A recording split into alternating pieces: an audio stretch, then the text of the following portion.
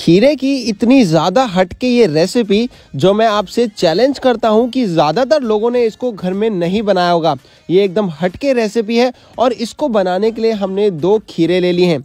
आप इस वीडियो को अंत तक देखें क्योंकि ज़्यादातर लोगों ने इस रेसिपी को कभी भी ट्राई नहीं किया होगा।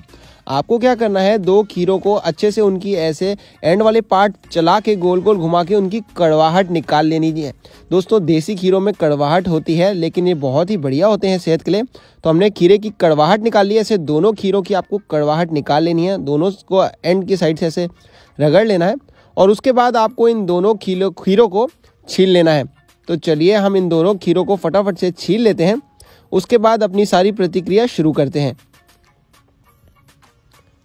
हमारे दोनों खीरे लगभग छीलने लगे हैं।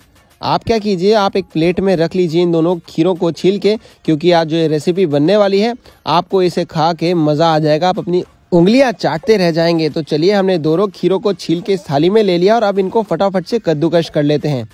दोनों खीरों को हमने बिल्कुल मुहिम कद्दूकश कर लेना है और आपको कद्दूकश करने के बाद इसका रस अलग कर लेना है। वो हम अभी आपको इसी वीडियो में दिखाते हैं कि इसका रस कैसे आपको अलग करना होगा। तो चलिए, हमारे लगभग दोनों जो खीरे थे, वो हमने कद्दूकश कर लिए हैं। बहुत बढ़िया पतला एकदम कद्दूकश करना है आपको। ये आप देख सकते हैं कितने अच्छे से कद्दूकश हो रहा है।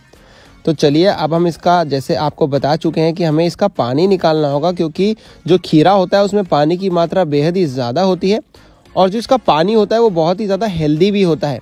उसमें ढेर सारे विटामिन होते हैं तो चलिए हमने क्या करना है, इस खीरे के पानी को अलग कर लेना है। इसको हमने एक छन्नी की मदद से या फिर जैसे आप पनीर निकालते हैं, किसी कपड़े की मदद से इसका पानी अच्छे से निकाल लेना है। तो खीरे का जो पानी है वो अलग हो जाएगा और जो ऊपर खीरा हमने कद्दूकश किया था, वो एकदम हमें थोड़ा ड्राई ड्राई मिल जाएगा। तो आपको इसको तब तक दबाना है जब तक आपका ऊपर वाला खीरा थोड़ा ड्राई ना हो जाए। आपको ऐसा फील होना चाहिए कि अब ये खीरा एकदम सूखा सूखा मिल चुका है। तो ये देखिए दोस्तों, हमने कितना ज़्यादा इसमें पानी निकाल लिया है खीरे का। अभी हमारा खीरा लगभग ड्राई हो चुका है। तो जो हमने पानी निकाला है, उसको हम वेस्ट नहीं जाने देंगे। उसको हम यूज़ करेंगे क्योंकि इसमें जैसे कि मैंने आपको बताया, ढेर सारे विटामिन होते हैं। तो अब हमने क्या करा, इस खीरे के पानी में दो कप आटा डाल के, छोटे कप थे, हमने आटा गूंद लेना है। आटे में साथ में हमने डाल दिए अजवैन और एक चम्मच डाल देंगे हम नमक। आधा चम्मच नमक डाल लेंगे फ्रेंड्स और उसके बाद हम डालेंगे थोड़ा सा ऑयल और अब इस आटे को, खीरे के पानी वाले आटे को हम अच्छे से गूंद लेंगे। आप देख सकते हैं हमने कितने अच्छे से आटा गूंद लिया आपको प्रॉपरली इसकी नीडिंग करनी है। थोड़ा सा मुलायम करना है अच्छे से। अब दोस्तों, जो हमने वहाँ पे दूसरी साइड खीरा हमने कद्दूकश करके बचा के रखा था, उसका क्या करना है, आपको बताते हैं। उसकी हमको एक स्टफिंग बनानी है, बहुत ही बढ़िया। सबसे पहले तो ये आप देख सकते हैं, हमारा आटा गूंद के तैयार हो गया है। तो इसको अच्छे से हमने नीडिंग कर ली है। तो लगभग 10 से 15 मिनट के लिए इसको नीडिंग करने के बाद, तैयार करने के बाद ढक के रख लेंगे। और उसके बाद हम जो खीरा हमने कद्दूकश करके रखा था, उसकी बढ़िया सी स्टफिंग तैयार करके रखेंगे। तो आप देख सकते हैं, ये हमारा आटा तैयार हो गया, इसे ढक के रख लेते हैं हम। और वहीं अब दूसरी तरफ़ हम एक ले लेते हैं पैन हम ये बना रहे हैं खीरे की स्टफिंग तो पैन में हमने लिया जीरा, थोड़ा सा ऑयल हल्का सा भूनने के बाद इसमें डाल दी ग्रीन चिलीज हमने। इसको हल्का सा सॉटे करा और उसके बाद इसमें हम डाल देंगे जिंजर गार्लिक पेस्ट। हल्का सा सॉटे हो जाने दो। जिंजर गार्लिक पेस्ट डालेंगे, बहुत ही बढ़िया स्वाद आ जाएगा इस पेस्ट का। और साथ ही में अब हम इसको थोड़ा सा चलाने के बाद डाल देते हैं इसमें अनियन। एक कटा हुआ प्याज हमने इसमें डाला है। और इसको हल्का सा आधे एक मिनट के लिए ही सॉटे करना है, थोड़ा सा सुनहरे हो जाएँगे। उसके बाद हम इसमें जो हमने खीरा कद्दूकश करके रखा था, वो ऐड करेंगे, एकदम सूखा था खीरा। थोड़ा बहुत हल्का बहुत पानी होता है, पूरा नहीं निकलता लेकिन मैक्सिमम निकाल दिया है। अब इसका पानी और चूस जाए, इसलिए हम इसे मीडियम आँच पे भून तो रही हैं प्याज और चिलीज के साथ। साथ ही में हम एक ऐसी चीज़ डालने वाले हैं, जो एक सीक्रेट चीज़ है। वो है दोस्तों, इसमें हम थोड़ा सा बेसन डालेंगे और बेसन से क्या होता है, आधे एक चम्मच बेसन से ही ये जो पानी होगा ना, इसमें मॉइस्चर होगा खीरे में, वो भी अच्छे से निकल जाएगा। तो आप इसको अच्छे से भून लीजिए। लगभग दो से तीन मिनट मीडियम आँच पे आप इसे अच्छे से भून लेंगे। और उसके बाद आप इसमें अपने स्पाइसेस ऐड करेंगे।